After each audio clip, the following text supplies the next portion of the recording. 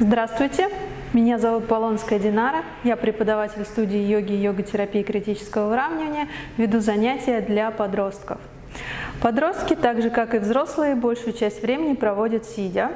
И в настоящий момент, когда дети находятся на дистанционном обучении, большую часть времени они тоже проводят сидя у компьютеров.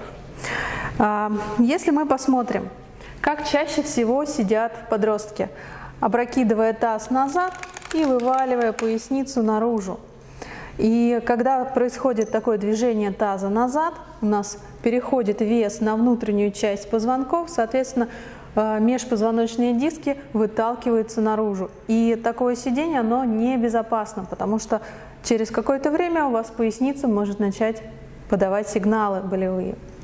Если вы таз располагаете четко перпендикулярно, он как фундамент, и ваш позвоночник ровненько выстраивается в свое естественное положение, как э, мачта.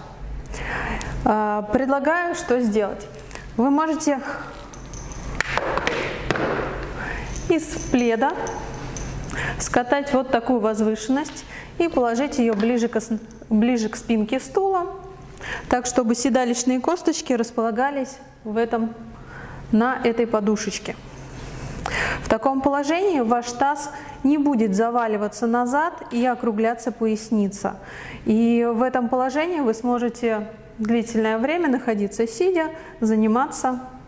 Ваши стопы, обратите внимание, они стоят под коленными суставами, и вы опираетесь на ваши стопы, то есть они не висят где-то в воздухе. Такое положение, оно стабильное и удобное. И это помогает сформировать правильный навык, как сидеть безопасно для ваших детей.